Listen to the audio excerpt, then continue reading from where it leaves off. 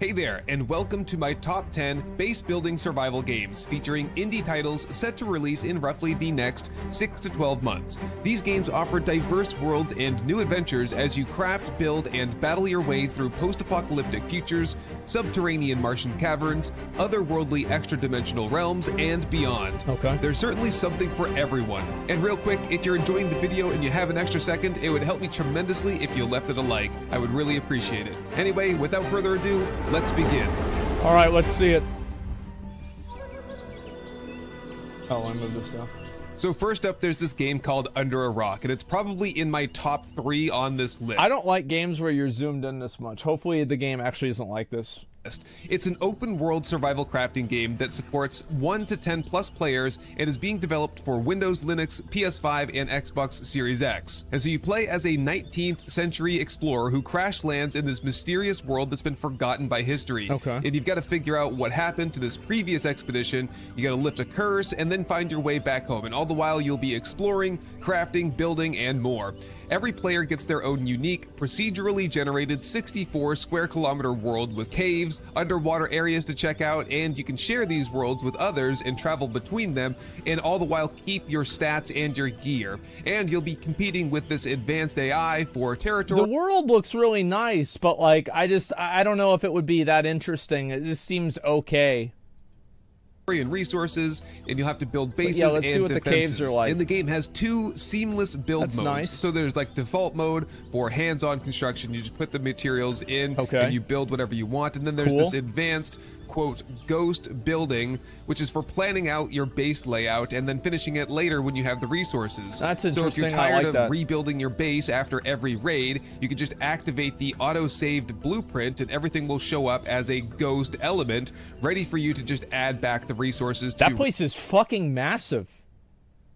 Rebuild. Yeah, the forest and so does with that? this Yeah, they do. Blueprint feature, you With, can like, basically the set up pre-made campsites, outposts, or even big bases almost anywhere. And you can build on the ground, in the trees, in the caves, Mm-hmm. even underwater. They're not really restricting where you can build at all. But you'll have to watch out for wildlife and locals, like a neighboring Neanderthal clan might raid your base just because they don't like your smell. I mean, the enemies look interesting and cool, right? I mean, seeing a survival game where there's like big enemies like this, I always find that to be kind of exciting and fun.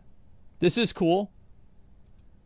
Or a pack of dodos could attack you for no reason at all. Under a Rock is built on Unreal Engine 5, and so it takes full advantage of Nanite and Lumen technologies for a super immersive and detailed open world experience with amazing view distances. The character creation system is. Oh, super can play as a robust, guy. letting you cool. fully customize your character. Oh, and you can even tame and ride some creatures. The game's been in That's development cool. since October 2021, and they're planning to release into early access, but they don't have a date set just yet.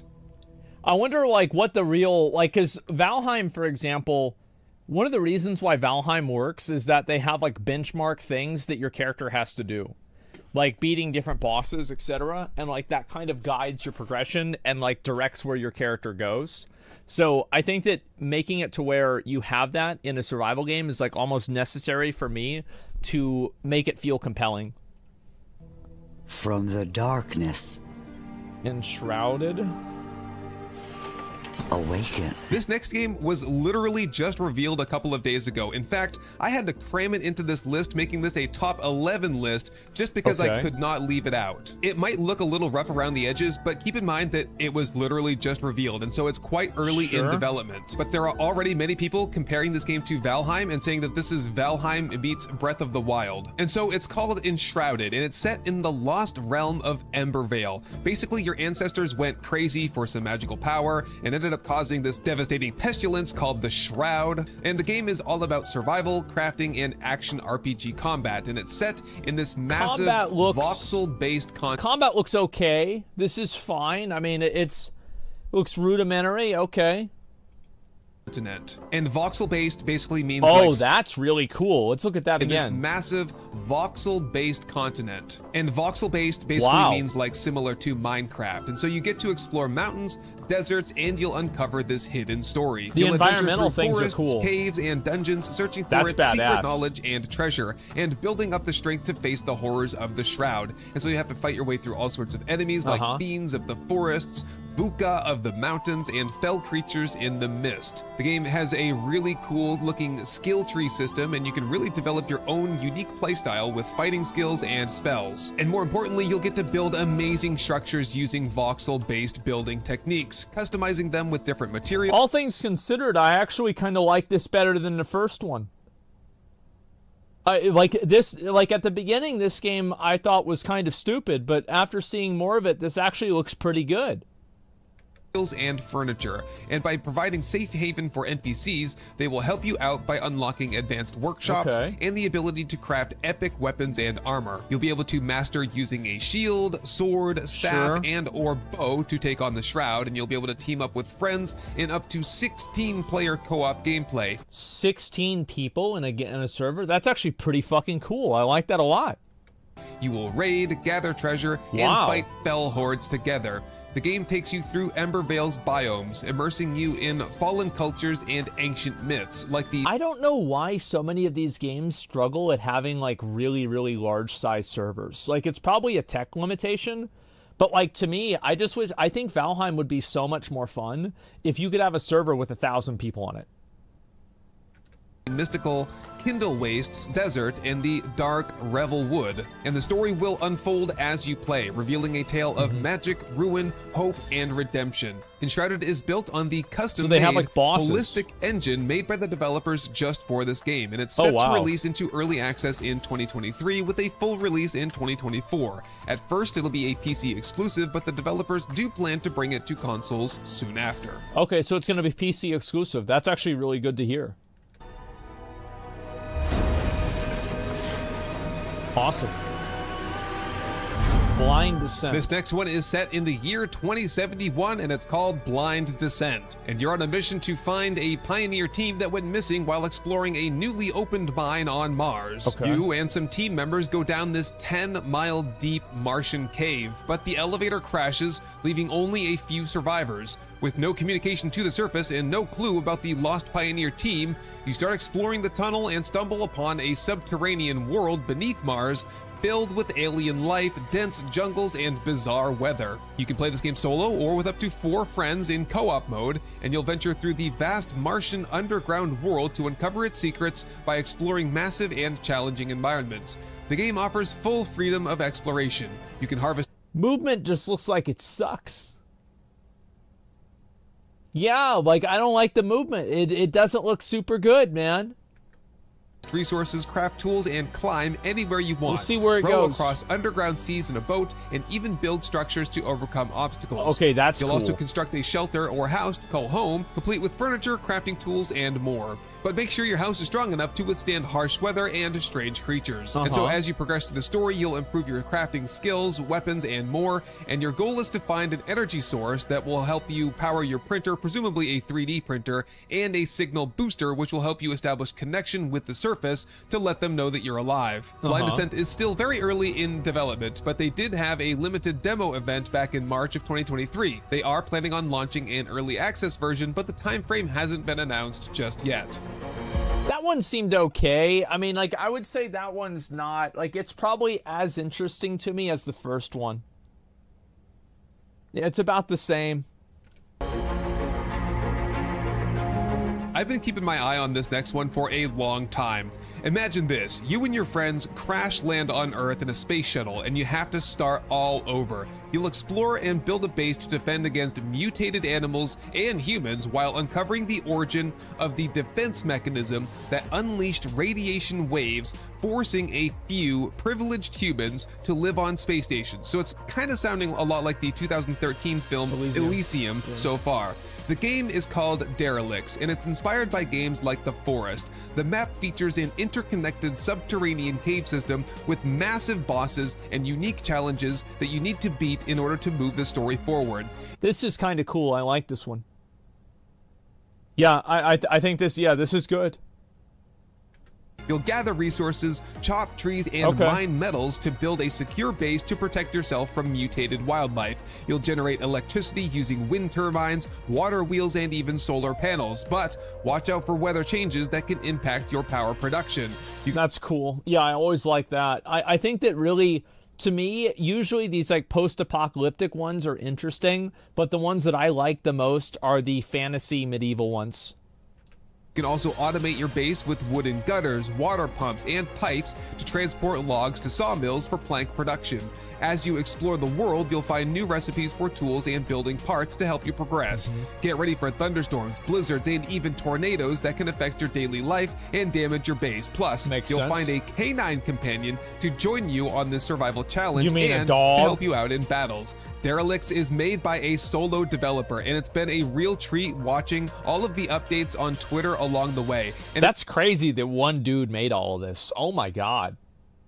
Every time I hear about one guy that makes a whole game, I think back to how it'll take a year for Blizzard to change something in WoW. It's like, yeah. Yeah, right. It's set to be released into early access in 2024, and I can't wait to see what this game has in store for us. The Forge's Rings fire has Oh, long yeah. gone cold. As a true Lord of the Rings nerd, I'm really excited for this next one, which promises to be the first and only survival game set in that universe. The Lord of the Rings Return to Moria is an epic adventure survival game where you get to control a group of Yeah, yeah, I saw this before. It didn't look super promising, so I'm kind of curious to see if there's any new information about it.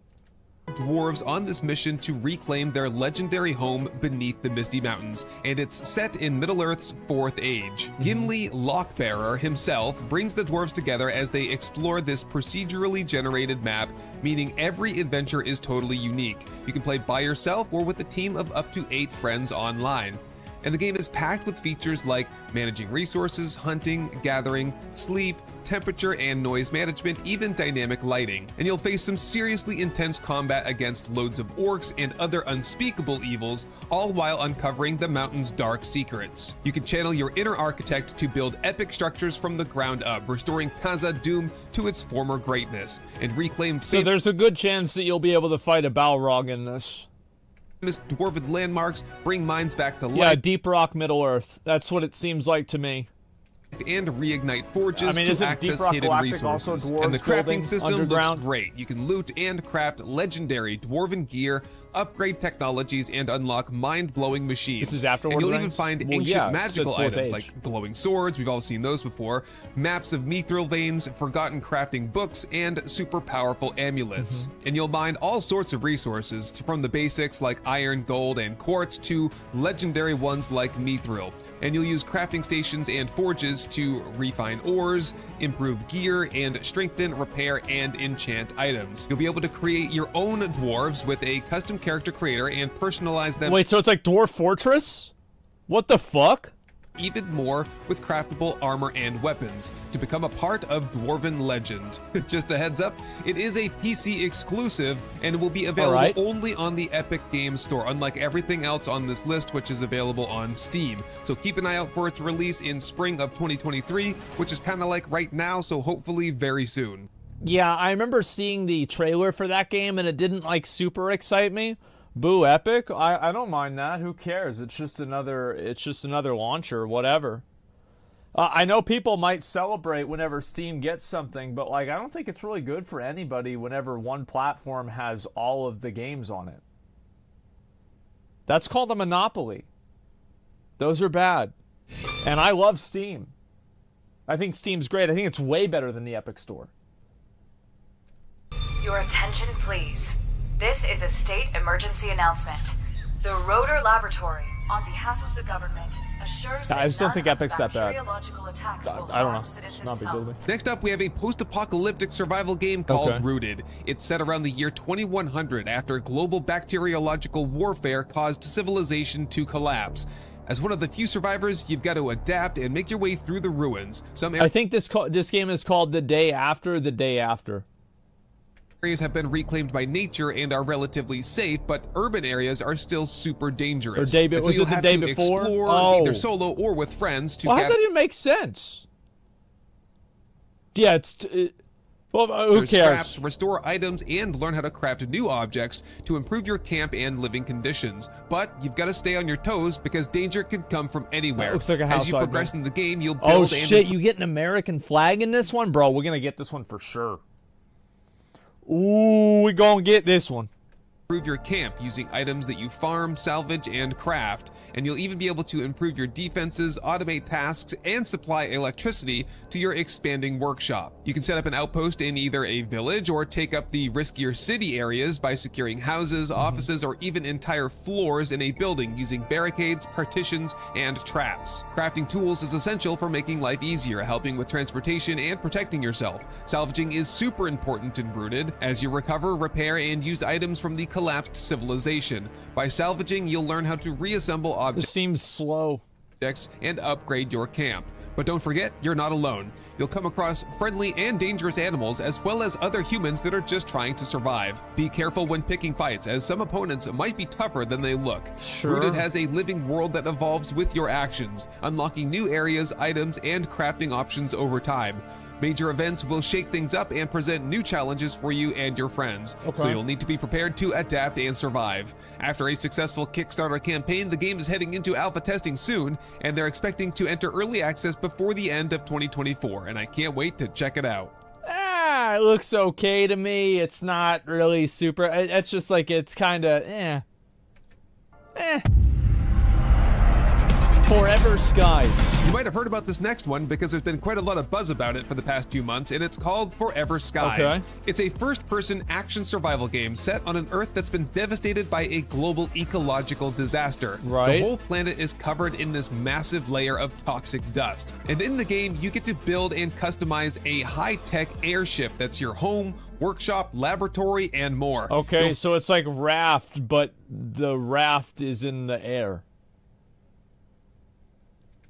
Fly above the Earth's surface, navigating Uh-huh. toward the ruins of civilization and mysterious It's called anomalies. Air Raft. While you're at it, you'll have to manage your airship's hull and integrity, gather resources, and improve it to make it truly unique. You'll use your scientific knowledge idea. to build and operate various machines, analyze scanned items, and reverse engineer lost technology. You will Uh-huh. also research new ways to get food and resources, develop new tools, and therefore boost your survival chances. The game has you exploring and extracting resources from these high up ruins built to escape the dust below. You'll be surrounded by drifting debris caused by some mysterious anomaly, and you'll harvest them to break them down into raw materials to help you survive. Plus, Okay. You'll investigate what's left of civilization, uncovering the reasons behind Earth's transformation and revealing secrets from our past. When you descend below the dust, you'll discover a bizarre new world that's changed in our absence. You'll face off against evolved flora and fauna and hunt for a viral pathogen to cure a mysterious illness that's threatening your family. There Oh, was a demo COVID. released during Steam's Next Fest in 2022, and people really seem to enjoy it. The game is made on Unreal Engine 4 and supports up to four player co op, and it's planned for a 12 month early access period starting in quarter 2, 2023. It's coming to PC in the latest generation of consoles, and after enjoying the demo, I'm really looking forward to the full release. I don't know how to feel about this game. I really don't. Subnautica, the COVID Alien Edition? Yeah, it's like, I, I don't know. I, I'm very uh, unsure about this one. For you. Oh, yeah, I actually saw stuff about this game. This one I'm very excited for. The year is 1889. This one looks cool. The world as you know it teeters on the brink. The next game on my list has been rapidly climbing up the Steam's most wishlisted games chart, and it's probably the one that I'm most excited mm-hmm. about personally. It's called Nightingale. It's a PvE open world survival crafting game that you can play either solo or with friends. You'll build, craft, fight, and explore while journeying through the mystical portals into all sorts of amazing and fantastical realms. You'll I'll definitely say that the combat for this game doesn't look super. It does not look super cool. Like to me, combat is what matters more than anything else. stranded in these gorgeous yet dangerous Fey realms because the arcane portal network has collapsed, and your mission is to become a skilled realm walker, navigating a web of transdimensional portals to get to Nightingale, the hmm. magical city that's humanity's last stronghold. So get ready for an adventure through enchanting Fey wild forests, treacherous swamps, and gleaming deserts as you unlock portals leading deeper into Fey lands. Yeah, I think one of the coolest things about survival games and stuff like this is finding those like uncovered monsters and just like uncharted lands that have crazy enemies in them. That's what I always think is the coolest thing So to me, that kind of that's a benchmark to me on whether a game is going to be interesting or not. Actual, honest, real fishing. Have to cook We'll meals, see. build shelter, and muster up the courage to face many challenges. You'll craft tools to harvest resources like trees, ores, and plants, and find even rarer materials hidden in the realms. As you discover new schematics, you can assemble the equipment and weapons you'll need to survive, and you can even enchant your gear with magical properties using special ingredients and arcane technology. In this game, you'll design and build an amazing estate using different architectural styles and tile sets. You can upgrade and customize your structures to create communities that live safely off the land. Plus, you can recruit NPC workers to help you expand your homestead, automate This production looks really cool. and gather resources. When it comes to combat, you'll craft and use a variety of melee weapons Oh, and shit. firearms to take on the fearsome creatures lurking within the portal Just shot him network, in the belly. including the twisted fey versions of humans called the Bound. You can even team up with other players to battle gigantic apex creatures. The game focuses on collecting That's very good to hear. That's the kind of stuff that really excites me whenever I hear it. That like there's going to be like these big monsters and shit like that you have to fight. Yeah, that's badass. realm cards, which will help you reshape the landscape of your next destination. Each realm has its own dangers, discoveries, and surprises, and you'll have the power to influence its design, like the number of hostiles, resource abundance, and the environment itself. Nightingale uses Unreal Engine uh, 5. I- I'll maybe have an unpopular opinion. I actually don't like games that you can change. Like in game. Like mods can always do this. I like games where there's like one set experience that everybody has. Like Valheim, for example. I didn't like that with V Rising. and has already Like gone Dark through Souls, several yeah. rounds of playtesting. It's set to enter early access in the first half of 2023. I have a dedicated video going over everything you need to know about Nightingale, and you can check that out And- and I know a lot of people don't that I agree with that. anticipate That's just how I feel. thoroughly on this channel. I, I feel like it's a uh, it's like a shared experience, and like whenever you say the like, "Hey, I beat this game," everybody knows what that means, right? Like with Dark Souls, everybody knows what I beat Dark Souls means. Whenever you say I beat, uh, you know, Super Mario Brothers three, everybody knows what that means. Whenever you say like I beat uh, Witcher three, uh, you know, it, it's like well, that's not that's really- actually that's a bad example because it, it's it's a story game primarily, so the combat's like secondary. But like a game that has difficulty options, it just doesn't really mean as much. Hogwarts, yeah, exactly. But that's also kind of a story game. I don't know. Aloha and welcome to Hawaii, a destination with endless What in the beauty fuck? and nature. Let your troubles melt away in this tropical paradise. Relax your mind and soul on one of our breathtaking beaches, or stimulate your adventurous side with exciting activities found all over the island.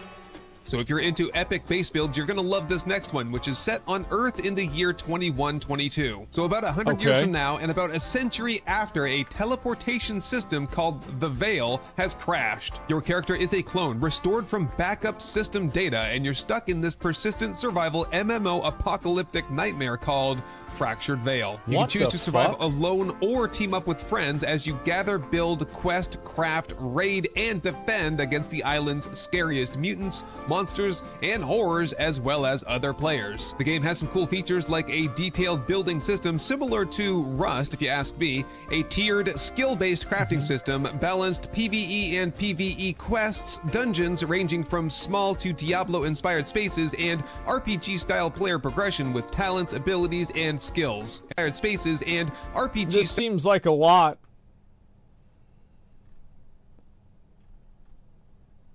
Yeah, it's a lot. I don't know.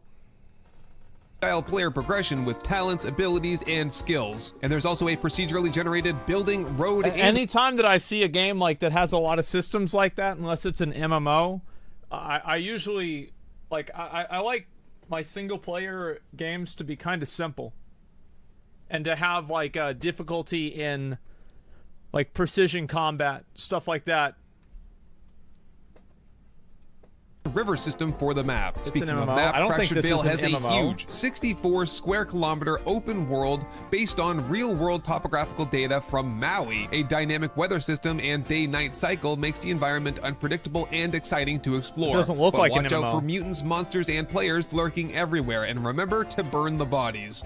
You'll need to harvest resources to craft essential survival items like shelter, food, equipment, and weapons. Mm-hmm. And AI drones will be patrolling the map and live streaming gameplay to Twitch 24 7, focusing on PvPvE action and offering a unique view of the game in standard, night vision, spotlight, and thermal modes. And you can tune That's in. really kind of interesting. I wonder what that that's that's a very interesting idea. I like that. That's that wow, okay. To the drone stream to watch the action unfold in real time anytime. Fractured Veil is built on Unreal Engine 5 exclusively for PC and early access is planned for quarter 4 2023. Uh-huh. A couple of months ago, I couldn't even imagine that I Uh, that one looked okay. Yeah, I mean like I don't know if I'd really get that excited about it, but all right. end up here, and all this would happen to me. All right, moving on now to Outbreak Island, a game where some really weird events have happened on an island, causing most of the people there to either vanish or go through some crazy mutations. And you are sent in alone to see what's going on. But once you're there, you realize that there's no way out, and so you have to stick around and survive. At night, radioactive energy powers the island's electrical grid so that you can use the infrastructure there to Oh, wow. build shelters and produce resources in factories and sawmills, for example. But that's not all. Nighttime is also when you can explore the multi level underground labs that will be filled with monsters and sweet loot. Bro, who fucking fights a mob like that and then just runs away? Sees a So mob. Yeah, what the hell? and upgrade weapons, equipment, and your skills to be ready for battle. And you'll have to fortify your base to survive weekly surges, which is when monster hordes attack. So kind of like Seven Days to Die, where you Uh-huh. have to fortify your base and survive these weekly onslaughts. And so you'll have to master skills like farming, gathering, and hunting to make the most of the limited Mm-hmm. food resources. Plus, you can combine ingredients with culinary recipes to make special food that will keep you alive in the long run. Outbreak Island has a completely open 20 square kilometer world with tons of diverse locations and landscapes. Just fuel up your vehicle, grab some supplies, and set out on an adventure across the island's uncharted terrain. The game will be made on Unreal Engine 5, and it looks like it's on track for a 2023 release. Uh, I mean, this looks okay. I mean, like, I, I, I don't know. Like, whenever I see the actual gameplay of this, it doesn't seem like super exciting. I'm gonna be honest. It really doesn't. Like, whenever I actually like the the environment and everything about it looks really cool, but like they're not really showing a lot of actual gameplay. Get ready for an intense survival horror experience. All right, last one on this list. Technically number 11 on my top 10 Okay, list. let's see it. Go figure. You get one bonus one. This one's called Grand Emprise Time Travel Survival. Kind of a mouthful. But this one takes you on a journey through different eras of time. So you start in the pre-life era and then you travel through the dinosaur era, through primitive times to the colonial era, through ancient wars, and then finally landing into the Industrial Revolution. And I've seen on Twitter that there might be a space age after that. And so as you move along from one era to another, you'll develop new technologies. So you'll go from like riding dinosaurs and forging primitive tools to then building colonies and sieging castles to then experiencing the excitement and automation and mobilization when you reach the Industrial Revolution with That sounds really interesting, but like that that seems like there's so yeah, age yeah, Empire Earth or some shit, right? Age of Empires, yeah. Like it just seems like the scope is so big. electric machines. Base building is a huge part of the game too, and you'll start with simple houses that then evolve into creating tribal Like, this colonies. looks really and cool. eventually you'll develop an industrial electrical But zone. like what if you take like a dinosaur and you want to uh you know fucking attack the the fucking castle with a dinosaur like what happens? Combat is pretty important as well. You'll be battling dinosaurs using rocks and primitive Uh-huh. spears, and then you'll move on to sharp swords and finally into firearms. And you'll also spend a lot of time exploring and gathering resources, which are essential for your survival and advancing through the eras. So you'll need to collect Looks unique nice. resources to develop new technologies. And some cool things that you can do include sieging castles, flying in hot air balloons, automating your world with machines and electricity, and even building and sailing industrial ships and aircraft to rule the skies. The game is expected to release on PC sometime in Dude, this seems like the the scope of this is insane, man. Like I don't even know. It looks cool though. Yeah, it does look cool, but like, how do you? Oh my god. Yeah, trying to. I feel like it's trying to do too much as well. 2023, and it is made by a solo developer. So if you're eager to dive into these worlds and test your survival and building skills, uh-huh. keep an eye out for release dates and announcements from the developers. I'll also be following the progress of these games closely, so don't forget to subscribe to the channel for updates, gameplay, reviews, news, tips, and more. And thank you very much for joining me for my top 10 survival base building games of 2023 and 24, and I'll see you hopefully in the next video. Seems good to me. I think this is a pretty good Hey everyone, comparison. I just want to say thank you for watching, for leaving a like, but most of all, thank you to the long list of amazing supporters that you see right here. gonna I hope link this you guys episode has earned your subscription, and I can't wait to show you the we next do top 10 Best MMOs. Yeah, we'll see about that. Goodbye. Yeah, I don't know. I mean, like, I think that which games really excited me the most. It's hard for me really to say, but uh, I, I would say that overall, I kind of liked. I think this one, this Minecraft. So Enshrouded you- game, this one seemed like the best game. Like, even though the other ones had better graphics, this Enshrouded game seemed like the one that it was interesting. There was a lot of like uh, the movement was good, the combat looked good. In general, if a game has a trailer and the entire trailer is cinematics and just like looking at, at distances and there's no real combat, it makes me pretty nervous because I just assume that there's a reason why they're not showing the combat.